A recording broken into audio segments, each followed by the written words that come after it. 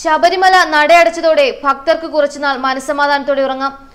ആവശ്യമില്ലാതെ സുപ്രീം കോടതിയിൽ യുവതികൾ കയറിയ ലിസ്റ്റ് നൽകിപ്പെട്ട സർക്കാർ വീണ്ടും പെടാതിരിക്കാൻ നിയമോപദേശം.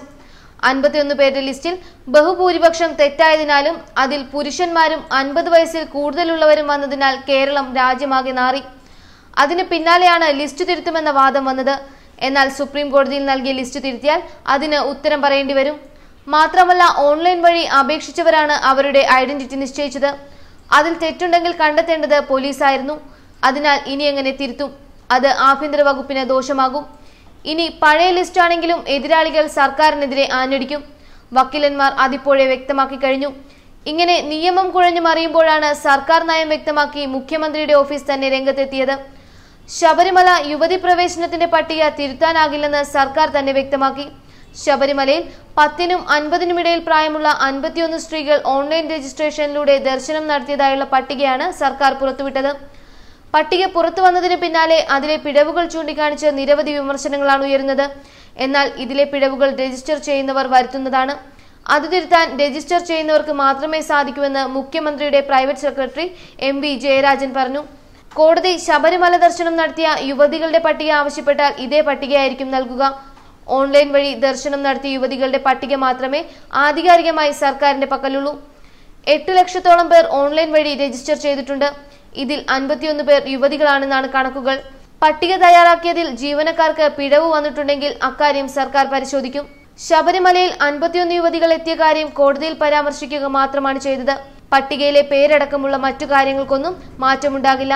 മാറ്റം വരുത്താനും സാധിക്കില്ല. കോടതിയിൽ രേഖകൾ ഫയൽ ചെയ്തിട്ടില്ല. ഇത് മാധ്യമങ്ങൾക്ക് മുന്നിൽ സർക്കാർ അഭിഭാഷകൻ പ്രദർശിപ്പിച്ചതിലും തെറ്റില്ല. ഇത് രഹസ്യരേഖയല്ല.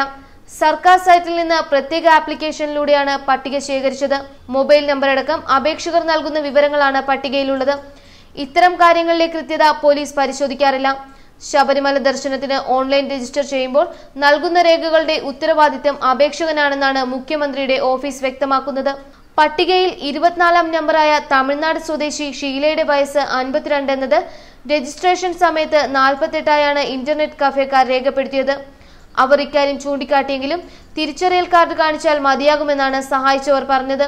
അതേസമയം പട്ടിക പുറത്തുപോയത് വിവാദമായ സാഹചര്യത്തിൽ മുഖ്യമന്ത്രിയുടെ ഓഫീസ് പോലീസിനോട് വിശദീകരണം തേടി. യുവതികളുടെ പേരുള്ള പട്ടികയ്ക്കൊപ്പം ഫോട്ടോയും കോടതിയിൽ സമർപ്പിക്കാൻ തയ്യാറാക്കിയിരുന്നു. എന്നാൽ സ്ത്രീകളുടെ ഫോട്ടോകൾ പുറത്തുവിടരുതെന്നും അത് അവരുടെ സ്വകാര്യതയെ ബാധിക്കുമെന്നും ആഭ്യന്തര വകുപ്പ് പോലീസിന് നിർദ്ദേശം നൽകിയിരുന്നു. അതിനിടെ സംഘർഷഭരിതമായ തീർത്ഥാടനത്തിന് സമാപനം കുറിച്ച് ശബരിമല നട അടച്ചു. തിരുവാഭരണം പന്തളം കൊട്ടാരം പ്രതിനിധിക്ക് കൈമാറിയതിനു ശേഷം നട അടയ്ക്കുകയായിരുന്നു.